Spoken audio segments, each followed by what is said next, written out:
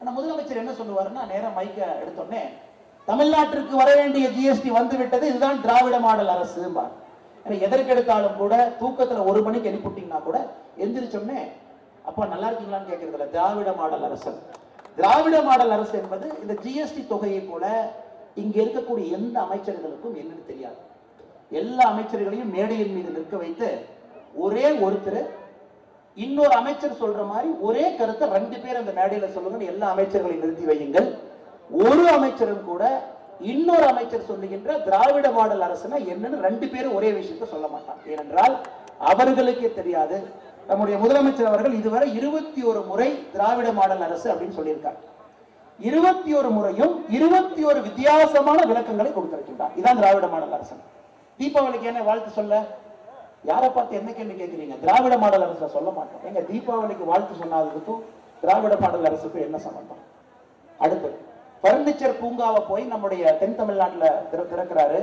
இந்த பர்னிச்சர் பூங்கா பூங்கா பாருங்க எவ்வளவு அருமையாக இருக்கு. இதான் திராவிட மாடல் அரசனுடைய சான்று. ஏங்க ஒரு பர்னிச்சர் பூங்காவை திறக்கிறதுக்கும் திராவிட மாடல் அரசுக்கு என்னங்க வித்தியாசம்? மத்திய அரசனுடைய நலத்திட்டங்களை ஸ்டிக்கரை போட்டு வெள்ளூர்ல கொடுக்கிறார். அதை கொடுத்து விட்டு நம்முடைய முதலமைச்சர் சொல்லுகின்றார் இதான் திராவிட மாடல் அரசனுடைய சான்று பாருங்க. இருபத்தி ஒரு முறை திராவிட மாடல் அரசை பற்றி சொல்லியும் கூட ஒரு கிளாஸ் ரூம்ல ஒரு பையன் எவ்வளவு பரீட்சை எழுதினாலும் ஃபெயில் ஆவா அப்படிங்கிற மாதிரி நம்முடைய முதலமைச்சர் இருபத்தி ஒரு முறை பரீட்சை எழுதியும் இருபத்தி ஒரு முறை ஃபெயில் ஆன ஒரே ஸ்டூடெண்ட் தமிழ்நாட்டில் நம்முடைய முதலமைச்சர் அவர்கள் மட்டும்தான் இருந்து கொண்டிருக்கின்றார். இதையெல்லாம் தாண்டி சகோதர சகோதரர்களை இந்த மாவட்டத்தில் ஒரு அமைச்சர் இருக்கார். அவர் பேர் உங்க எல்லாத்துக்குமே தெரியும். அவர் பேர் வந்து மகேஷ் பொய்யாவன் இந்த மாவட்டத்தினுடைய அமைச்சர். அவர் எந்த துறைக்கு அமைச்சர் என்று அவருக்கே தெரியாது. அவருடைய நண்பர் உதயநிதி ஸ்டாலின் அவர்கள் சினிமா ஷூட்டிங்கில் நடிச்சாரா? முதல் ஆளாக சினிமா ஷூட்டிங்ல போய் லைட் பாயாக அமர்ந்திருப்பார் முதல் ஆளா. அந்த சினிமா ஷூட்டிங் எல்லாம் நடந்து முடிச்சிட்டு கொஞ்சோண்டு நேரம் கிடைச்சா ஏதாச்சும் பட திறப்பு விழாவுக்கு போய் சினிமா படத்தை பத்தி விமர்சனம் பண்ணுவார். அதையும் செஞ்சு முடிச்சுட்டு இன்னும் கொஞ்சம் நேரம் கிடைச்சா படத்தை பத்தி படத்தினுடைய பாடல் வெளியீட்டு விழால போய் உட்காந்துருப்பார் எல்லாமே முடிச்சுட்டு கொஞ்சோண்டு நேரம் கிடைச்சா ஸ்கூல் பக்கம் ஒதுங்குவார் இந்த ஸ்கூல்ல என்ன நடக்குது பார்ப்போம் அப்படின்னு. இன்றைக்கு சகோதர சகோதரிகளே தமிழகத்தினுடைய அரசு பள்ளியினுடைய மாணவர்களுடைய படிப்பு கிரகிக்கக்கூடிய தன்மை என்பது இந்திய அளவிலே மோசமாக தமிழகம் மாறிக்கொண்டிருக்கிறது இரண்டாயிரத்தி இருபத்தி ஒன்று மத்திய அரசினுடைய ஸ்டேட்டஸ் ஆஃப் லேர்னிங் அவுட்கம் ஆறாம் கிளாஸ் எட்டாம் கிளாஸ் பத்தாம் கிளாஸ் பன்னெண்டாம் கிளாஸ்ல ஒரு குழந்தை எந்த அளவுக்கு படித்திருக்கிறது என்று பார்த்தா ரிசல்ட் வந்திருக்கு. குறிப்பாக சதர்ன் ஸ்டேட்ல தமிழ்நாடு கர்நாடகா கேரளா ஆந்திரா புதுச்சேரியில தமிழகம் கடைசியாக வந்திருக்கிறது. இந்திய அளவிலே பத்தாவது இடத்தை தாண்டி வந்திருக்கு. இதுதான் இந்த அமைச்சர் அவருடைய பள்ளி கல்வித்துறையை நடத்தக்கூடிய லட்சணம். ஏன்னா ஒரு பள்ளி கல்வித்துறையினுடைய அமைச்சர் எப்படி இருக்க வேணுங்க ஐயா? கர்ம வீரர் காமராஜர் ஐயா மாதிரி இருக்கும் அந்த அமைச்சரை பார்த்தாருன்னா அந்த குழந்தை நானும் இவரை மாதிரி கஷ்டப்பட்டு படிச்சு தமிழ்நாட்டில் ஒரு பெரிய ஆளா வரணும் அப்படின்னு இன்ஸ்பிரேஷன் கொடுக்கக்கூடியது பள்ளி கல்வித்துறை அமைச்சருடைய வேலை. ஆனா இவருக்கு என்ன பிரச்சனைனா தமிழகத்துல எது சரியாக தப்பாக நடக்குதோ குடும்ப அரசியல். இவருடைய தாத்தா அன்பில் தர்மலிங்கம் ஐயா அப்பா அன்பில் பொய்யாமொழி ஐயா மூன்றாவது முறையாக அரசியல் களத்தில் நிற்கக்கூடிய மகேஷ் பொய்யாமொழி. இதை பார்க்கக்கூடிய ஒரு ஏழை மாணவன் தமிழக அரசு பள்ளியில படிக்கக்கூடிய மாணவனுக்கு இதை போன்ற அமைச்சர்களை பார்க்கும் பொழுது என்ன தெரியும்? ஐயோ நம்ம அப்பா அம்மா தப்பு பண்ணிட்டாங்க. ஒரு பணக்கார வீட்டில் நம்ம பிறந்திருக்கணும். ஏழை தாயினுடைய மடியிலே பிறந்து விட்டோம். நமக்கு வாழ்க்கை இந்த மாதிரி ஒளிமயமா இருக்குமா? அவங்க மாதிரி நாம நல்லா ஒரு பெரிய ஒரு இடத்துல நல்லா வாழ முடியுமா? ஆனால் ஒரு ஒரு முறையும் இந்த மாணவன் பொய்யாமொழி அவர்களை பார்த்து மகேஷ் பொய்யாமொழி அவர்களை பார்த்து எப்படி இருக்கக்கூடாது என்று கற்றுக்கொள்கின்றானோ பாரத பிரதமர் நரேந்திர மோடி அவர்களை பார்த்து எப்படி இருக்க வேண்டும் என்று கற்றுக்கொள்கின்றோம் ஏழை தாயினுடைய வயிற்றிலே பிறந்த ஒரு மகன். கையில தட்டை கொடுத்துட்டாங்க. என்ன பண்றதுன்னு தெரியல. பசுமாட்டுக்கு கோமாதாக்கு பூஜை பண்றாங்க அவர் கூட வந்தவங்களுக்கு என்ன பண்றதுன்னு தெரியல நம்ம தலைவர் திடீர்னு தட்டெடுத்து மா- பசுமாட்டுக்கு பூஜை எல்லாம் பண்றாரு. ஒருத்த ஒரு குரூப் கத்துது. கடவுள் இல்லை என்று சொன்ன தந்தை பெரியார் வாழ்கன்னு இந்த பக்கம். சென்ட்ரல நம்மாலு பசுமாட்டுக்கு பூஜை கோமாதா பூஜை. இந்த பக்கம் லெஃப்ட் சைடில் இருக்கிறவங்க எங்களுடைய தளபதி ஸ்டாலின் வாழ்க அப்படின்னு. அவங்களுக்கே தெரியல என்ன பேசுறது. எந்த நேரத்தில் எந்த ஸ்டண்ட் அடிக்கிறது எங்கே போய் என்ன செய்வது என்று குழப்பத்தில் இருந்து கொண்டிருக்கிறார். இப்பதான் மதுரையில நம்முடைய துறவிகள் மாநாடு நடந்து முடிந்திருக்கிறது. தமிழகத்தில் இருக்கக்கூடிய பதினெட்டு ஆதீனங்களை நீங்க வந்து ஆதீனத்தினுடைய முறை என்னவென்றால் அரசனாக இருந்தாலும் ஆதீனத்தை அங்கே சென்று சந்திக்க வேண்டும் என்பது முறை. உங்களை மாதிரி உருட்டி மிரட்டி ஆதினங்களை நம்முடைய முதலமைச்சர் வீட்டுக்கு கூட்டிட்டு போய் அங்க நிக்க வச்சுட்டு அங்க பார்க்க வச்சுட்டு ஆதீனங்கள் அவர்கள் முதலமைச்சருக்கு ஆதரவாக இருக்கின்றார்கள் என்கின்ற மாயத்தோட்டத்தை ஏற்படுத்தி கொண்டிருக்கின்றீர்கள். அதுல இதுல வெக்கங்கெட்ட பொழப்ப பாருங்க. ஒரு ஆதினம் அவர் பாட்டுக்கு அமைதியா பத்திரிகை நண்பர்கிட்ட பேசிட்டு இருக்கார் உடனே பக்கத்துல. கொஞ்சம் முதலமைச்சரை புகழ்ந்து பேசுங்க. முதலமைச்சரை புகழ்ந்து பேசுங்க. அதற்குத்தான் திருவோடுத்தட்டு இருக்கிறதே எதற்காக? அங்க இருக்கக்கூடிய ஆதீனம் அவர்களே நீங்கள் புகழ்ந்து பேசுங்க புகழ்ந்து பேசுங்க என்று எதற்காக உங்களை இழந்து கொள்ள வேண்டும்? காலையில் நம்ம வீட்டில் குழந்தைங்க பார்த்தீங்கன்னா எந்திரிச்சோடனே ஸ்கூலுக்கு கட்டடிக்கலாம்னு முடிவு பண்ணிடுவாங்க. எங்கப்பா வலிக்குது? ஆமாம் வயிற்றுல வலிக்குதுமா ஆனால் வயிற்று வயிற்றை திறந்து நம்ம பார்க்க முடியாது. நம்ம குழந்தைக்கு உண்மையாலுமே வயிறு வலிக்குதோன்னு சொல்லிட்டு சரி வர வேண்டாம்ப்பான்னு சொல்லுவோம். இங்க இருக்கக்கூடிய அமைச்சர்களுக்கு பயம். தொடை நடுங்கி தமிழ்நாட்டை தாண்டி வண்டி ஓடாது. மிஞ்சி மிஞ்சி போனா சென்னை சென்னை பார்டரை தாண்டி வண்டி இறங்காது. குஜராத் மீட்டிங்க்கு போக மாட்டேன் டெல்லி மீட்டிங்க்கு போக மாட்டேன். பாரத பிரதமர் நரேந்திர மோடி அவர்கள் சுப்ரீம் கோர்ட் ஜட்ஜி மீட்டிங்ல என்ன பேசினாருன்னு தெரியாது. பிராந்திய மொழிகளிலே ஹைகோர்ட் இருக்க வேண்டும் என்று புரியாது. புதிய கல்விக் கொள்கையிலே இந்தி என்பது ஆப்ஷனல் திணிக்கப்படாது. யாருக்கு வேண்டுமோ படிங்கன்னு சொல்லிட்டு இருக்கோம். அது தெரியாது. மாத்தி மாத்தி உளறி உளறி ஒரு ஒரு நாளாக இவர்களுடைய காமெடி என்பது இப்ப வடிவேல் அண்ணன் நடிக்கல அப்படிங்கிற குறையை திமுக அமைச்சர்கள் பூர்த்தி செய்து கொண்டிருக்கிறார்கள் டெய்லி வடிவேல் காமெடிய இந்த டிவியில நைட்டு போட்டு பார்த்தா பழைய காமெடியாவே வருது. நைட்டு பதினோரு மணிக்கு மேலே பழைய காமெடியாக திரும்ப திரும்ப போடுறாங்க இப்போ திமுக அமைச்சர்கள் அந்த குறையை பூர்த்தி செய்து நான் இருக்கும்போது எதுக்குப்பா வடிவேலை கூப்பிடுறேன் அதுக்கு இன்னொரு காமெடியாக சொல்றேன். இரண்டு திமுக அமைச்சர்கள் போட்டி போட்டு கொண்டு பேட்டி கொடுக்குறாங்க. பால்வளத்துறை அமைச்சர் நாசர் அவர்கள் மருத்துவத்துறை அமைச்சர் அண்ணன் மா சுப்பிரமணியம் அவர்கள். எதுக்கு ஏன் போட்டி போட்டு பேட்டி கொடுக்குறீங்கன்னா இந்த அண்ணாமலை பாருங்க ஒரு பிரஸ் மீட்ல என்ன சொன்னாங்க கர்ப்பிணி பெண்களுக்கு மத்திய மாநில அரசுடைய நியூட்ரிஷன் கிட்ல ஊழல்னு சொன்னார். என்ன ஊழல்னு சொன்னாரு? ஆவின் நிறுவனம் தான் கொடுப்பதற்கு தயாராக இருப்பதாக அதில் வந்து நீங்களே மீட்டிங் போட்டு ஆவின் நிறுவனத்தினுடைய எம்டியை கூப்பிட்டு அந்த ஆவினுடைய பொருளை வந்து டெல்லியில் இருக்கிற லேபுக்கு அனுப்பி தரச்சான்றிதழை பெற்று இந்த பிஎல் ஹெல்த் மிக்ஸுக்கு பதிலாக ஆவினை பயன்படுத்தலாம் என்று சொல்லி அந்த கமிட்டி ரெக்கமெண்ட் பண்ணதுக்கப்புறம் நீங்கள் திருட்டுத்தனமாக மிரட்டி ஆவினை பயன்படுத்தக்கூடிய முடியாது மறுபடியும் அந்த பிரைவேட் கம்பெனியை பயன்படுத்தணும்னு சொன்னேன். இன்னைக்கு மா சுப்பிரமணியம் சொல்றாரு ஏங்க என்னங்க அவர் ஆவினை பயன்படுத்துங்கிறாரு அதெல்லாம் சின்ன குழந்தைங்களுக்கு கொடுக்குறதுங்க. அது எப்படிங்க? சரியா இருக்குமான்னு. ஓ அப்ப சின்ன குழந்தைங்களுக்கு என்ன வேணாலும் கொடுக்கலாம். அவங்க என்ன வேணாலும் சாப்பிடலாம். உடனே பக்கத்துல பால்வரத்துறை அமைச்சர் நாசரன் இருக்கார். அவருடைய சொந்த துறை அவர் சொல்றாரு அண்ணே ஆவின்லாம் சரியா வராதுன்னு ஏன் சரியா வராது? கவர்மெண்ட் டிபார்ட்மெண்ட் இருந்தால் கமிஷன் அடிக்க முடியாது பிரைவேட் கம்பெனியாக வந்து கமிஷன் வாங்கலாம். இது முதல் தவறு. அதுக்கு இன்னைக்கு மறுபடியும் ஆதாரத்தை கொடுத்துருக்குறோம். உங்க மீட்டிங்ல நீங்க எடுத்த முடிவு. சரி இந்த பொருளை கொடுப்பது யார்?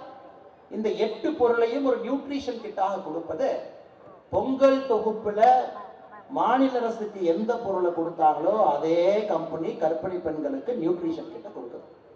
அப்ப பொங்கல் தொகுப்புல அமைச்சர் சொ- முதலமைச்சர் சொன்னாரு கருப்பு பட்டியல வச்சிருவேன். ஏன்னா முதலமைச்சர் நன்றாக தெரியும் கருப்பு பெட்டியில் வைக்கணும் அப்படின்னா சொந்த குடும்பத்தினரே பாதி பேர்த்துக்குள்ள வைக்கணும். ஏன்னா இந்த எல்லா கம்பெனியினுடைய பங்குதாரர்களாக எந்த டாக்குமெண்ட் எடுத்து திருப்பி திருப்பி பார்த்தாலும் கூட கோபாலபுரம் சம்பந்தப்பட்ட யாரோ ஒருத்தர் மினரல் வாட்டர் மினரல் வாட்டர்லாம் பார்த்துருப்பீங்க. Mineral water spring mineral water TASMAC கடையில் கூட்டு அலமோதுது என்னையா ஸ்ப்ரிங் மினரல் வாட்டர் எல்லா பக்கம் இருக்குன்னா அண்ணே கோபாலபுரம் குடும்பத்துக்கு சொந்தக்காரங்கண்ணே எல்லா டாஸ்மாக்லையும் அதான் வாங்கிட்டாங்க. என்னையா எங்கே பார்த்தாலும் ஜி ஸ்கொயராக இருக்கானே அவங்களுக்கு சொந்தமே வாங்க சொல்லிட்டாங்கண்ணே என்னையா அது? ஆகனுக்கு பதிலாக பிஎல் ஹெல்த் மிக்ஸ் வச்சிருக்கேன் அண்ணே அவன் சொந்தக்காரங்கனே வாங்க சொல்லிட்டான். ஆயிரத்தி தொள்ளாயிரத்தி தொண்ணூத்தி ஆறு இரண்டாயிரத்தி ஒன்று இரண்டாயிரத்தி ஆறு இரண்டாயிரத்தி பதினொன்று இதே தப்ப பண்ணான். பேராசை. ஆசையெல்லாம் தாண்டி பேராசை. அனைத்து துறையிலும் நான் இருக்க வேண்டும். அனைத்து துறையிலும் கொள்ளையடிக்க வேண்டும். எல்லா துறையிலையும் என்னுடைய குடும்பத்தில் ஒருத்தர் இருக்கணும்னு நினைச்சு ஆரம்பிச்சு தண்ணியிலிருந்து ஆரம்பித்து நிலத்திலிருந்து அனைத்து இடத்திலும் கூட ஊழல் செய்யக்கூடிய ஒரு கட்சியாக நம்முடைய திராவிட முன்னேற்ற கழகத்தினுடைய ஆட்சி மாறி இருக்கிறது. நம்முடைய அண்ணன் சொன்னார் நம்முடைய கருப்பு முருகானந்தம் அண்ணன் சொல்லும் பொழுது கச்சத்தீவை பற்றி மிகச் சிறப்பாக பேசினார். ஆயிரத்தி தொள்ளாயிரத்தி எழுபத்தி நான்கு ரொம்ப முக்கியமான வருஷம் ஐயா. ஏன் முக்கியமான வருஷம்னா காவிரி ஆயிரத்தி தொள்ளாயிரத்தி இருபத்தி நான்குல போட்ட அந்த காவிரி ஒப்பந்தம் ஆயிரத்தி தொள்ளாயிரத்தி எழுபத்தி நான்குல கலைஞர் கருணாநிதி அவர்கள் அதை பூர்த்தி செய்திருந்து ஒப்பந்தத்தை நீடிருந்தால் கர்நாடகாக்காரன் இன்னைக்கு அஞ்சு டேம் ஹேமாவதி அணை உட்பட அஞ்சு டேமை கட்டியிருக்க மாட்டான். ஆனால் அந்த எழுபத்தி நாலில் மட்டும் பாருங்க கலைஞர் கருணாநிதி அவர்கள் இரண்டு பெரிய தப்பை பண்ணுறார் காவிரிக்காக ஆயிரத்தி தொள்ளாயிரத்தி இருபத்தி நான்கில் போட்ட ஒப்பந்தம் எழுபத்தி நான்கில் நீட்டிப்பு செய்யவில்லை முதல் தவறு. எழுபத்தி நாலில் கச்சத்தீவை தூக்கி இலங்கை கொடுக்கிறார். அப்போ ஆயிரத்தி தொள்ளாயிரத்தி எழுபத்தி நான்கு என்ன பிரச்சனைனா ஒரு சின்ன பிரச்சனை எழுபத்தி இரண்டுல புரட்சி தலைவர் எம்ஜிஆர் அவர்கள் அரசியலுக்கு வந்துவிட்டார் எம்ஜிஆர் அவர்கள் எழுபத்தி இரண்டுல அரசியலுக்கு வந்து நமக்கு இன்னைக்கு ஜென்மத்தில் நாம ஜெயிக்க போறது இல்லை என்று தெரிந்த பிறகு காங்கிரஸ்னுடைய கூட்டணியை வச்சு வண்டியை ஓட்டணும். ஒருவேளை எம்ஜிஆர் அவர்கள் ஆட்சிக்கு வந்தால் டிஸ்மிஸ் செய்வதற்கு ஆர்டிகல் முன்னூத்தி ஐம்பத்தாறை பயன்படுத்தணும். அதற்கு இந்திரா காந்தி அம்மையார் வேண்டும் என்கின்ற ஒரே காரணத்திற்காக தமிழக மக்களுக்கு இந்த சரித்திரத்தை சொல்ல வேண்டியது பாரதிய ஜனதா கட்சியினுடைய கடமை. ஒரே ஒரு காரணத்திற்காக எம்ஜிஆர் அவர்களை ஒழிப்பதற்காக ஆர்டிகல் முன்னூத்தி ஐம்பத்தி ஆறை பயன்படுத்துவதற்காக ஒருவேளை ஆட்சியில் எம்ஜிஆர் இருந்தாலும் கூட நீடிக்க கூடாது என்பதற்காக இரண்டு தவறுகளை கலைஞர் அவர்கள் செய்கின்றார்கள். காவேரி ஒப்பந்தத்தை நீட்டிக்கவில்லை. அதன் மூலமாக கர்நாடகாவில் ஐந்து அணைகளை கர்நாடகா கட்டியது காவேரி தண்ணீர். இரண்டாவது கச்சத்தீவை தூக்கி இலங்கை கொடுத்தது என்றால் இந்திரா காந்திக்கும் பண்டார நாயக்குக்கும் ஒரு ரகசிய ஒப்பந்தம் இருந்தது. அதற்காக இந்திரா காந்தி இந்த கச்சத்தீவை கொடுக்க வேண்டும் என்று முடிவு செய்தார். தமிழகத்தினுடைய முதலமைச்சராக இருந்த கருணாநிதி அவர்கள் இதையும் தூக்கி கொடுத்தார் நீட்டை பொறுத்தவரை சகோதர சகோதரே நமக்கு தெரியும். இது ஒரு ஏழை பங்காளனுக்கு இருக்கக்கூடிய பரீட்சை. குறிப்பாக பிற்படுத்த மக்களுக்கு எந்த விதமான பிரச்சனையும் இல்லாம ஏமாற்று வேலை இல்லாமல் அரசு சீட்டு கிடைப்பதற்காக நீட்டு. இரண்டாயிரத்தி பதினாறுக்கு முன்பு நீட் எப்படி இருந்துச்சுன்னா தமிழ்நாட்டுல நூறு சீட் இருக்குன்னா அதுல பதினைந்து மருத்துவ சீட்டு ஆல் இந்தியா கோட்டா எண்பத்தஞ்சு சீட்டு நம்ம மருத்துவ மாணவர்களுக்கு இருக்கு. தமிழ்நாட்டில் இருக்கக்கூடிய மாணவர்களுக்கு. இரண்டாயிரத்தி பதினாறு நீட்டுக்கு முன்னாடி அதுல பாதி சீட்டு எண்பத்தஞ்சுல பாதி சீட்டு நாற்பத்தி இரண்டரை சதவீதம் அரசு மெடிக்கல் டெஸ்ட் மூலமாக உங்களுக்கு கிடைக்கும். நாற்பத்தி ரெண்டரை சீட்டு பிரைவேட் மெடிக்கல் டெஸ்ட் மூலமாக பிரைவேட் காலேஜ் கிடைக்கும். என்ன அநியாயம் பாருங்க. நூறு சீட்டுல பதினைந்து சீட்டு ஆல் இந்தியா கோட்டா ஆயிரத்தி தொள்ளாயிரத்தி எண்பத்தி ஆறுல இருந்து நம்ம கொடுக்குறோம். ஆல் இந்தியாவில் இருந்து பதினைஞ்சு சீட்டு தமிழ்நாட்டுக்கு கிடைக்கும். மிச்சம் இருக்கிற எண்பத்தி அஞ்சு சீட்டில் நாற்பத்தி ரெண்டு சீட்டு அரசு நடத்தக்கூடிய தேர்வு மூலமாக அரசு மருத்துவக் கல்லூரி. மிச்சம் நாற்பத்தி ரெண்டு சீட்டு பிரைவேட் காலேஜ் நடத்தக்கூடிய தேர்வு மூலமாக பிரைவேட் காலேஜ் நீட் என்ன செஞ்சிச்சு?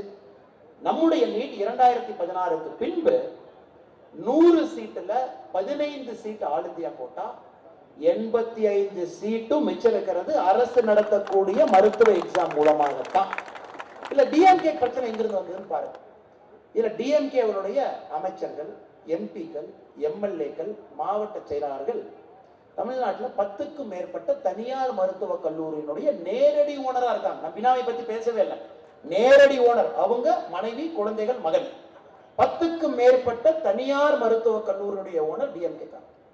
இப்போ ஆற்காட்டு வீராசாமி என்ன அதுக்கு முன்னாடி இன்டர்வியூல சொல்கிறார் எங்க டெக்னிக்கே உங்களுக்கு புரியலப்பா. நாங்க என்ன டெக்னிக் பண்ணுவோம்னா தமிழ்நாட்டில் பன்னெண்டாவது முடிச்ச உடனே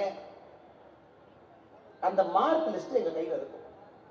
அந்த மார்க் லிஸ்ட்டை மட்டும் யாருக்கெல்லாம் அரசு மறு அரசு கோட்டால அரசு கல்லூரியில கிடைக்குமோ அந்த பேரை மட்டும் செலக்டிவா தனியார் மருத்துவக் கல்லூரிக்கு லீக் பண்ணிடுவோம். தனியார் மருத்துவக் கல்லூரி என்ன பண்ணுவோம் ஏஜென்ட்டை போட்டு யாருக்கெல்லாம் கவர்மெண்ட் ஃப்ரீ சீட்டு கிடைக்குமோ அவங்ககிட்ட போய் கன்வின்ஸ் பண்ணி தனியார் மருத்துவக் கல்லூரியில் அட்மிஷன் போட்டுவோம் கவுன்சிலிங் நடக்கும் பொழுது இதை தனியார் மருத்துவக் கல்லூரியில் அட்மிஷன் போட்டவங்களுக்கு அரசு மருத்துவக் கல்லூரியில் ஃப்ரீ சீட் கிடைச்சதுக்கப்புறம் இந்த சீட்டு லாக் ஆகிப்போ அது எம்டி சீட்டு அதை மேனேஜ்மெண்ட் கோட்டால வித்துருவோம். இந்த டெக்னிக் புரியாமல் தமிழ்நாட்டில் அரசியல் செய்து கொண்டிருக்கின்றீர்கள் என்று ஆர்காட்டு வீராசாமி அவர்கள் சொல்லுகின்றார். இன்னைக்கு ஒரு ஜுடிஷியல் கமிஷனை போட்டு திமுகவினுடைய இரண்டாயிரத்தி ஆறுல இருந்து பதினொன்று வரை ஒரு ஒரு பிரைவேட் மருத்துவ கல்லூரியினுடைய சீட்டு எப்படி ஃபில் ஆச்சுன்னு ஒரு ஜுடிஷியல் என்கொயரி போட்டா இன்னைக்கு கோபாலபுரத்துல பாதி பேர் ஜெயிலுக்கு போவாங்க.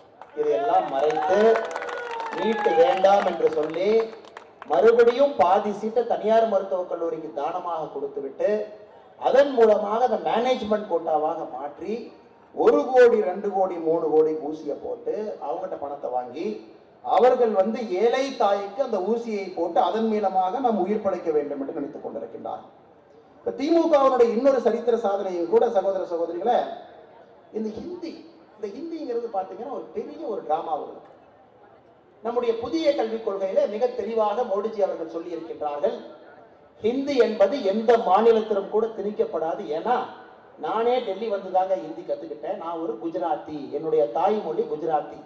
நான் பிறக்கும் பொழுது ஹிந்தியெல்லாம் தெரியாது. அரசியலுக்காக டெல்லி வரும் பொழுது நான் இந்தியை கற்றுக்கொண்டேன்.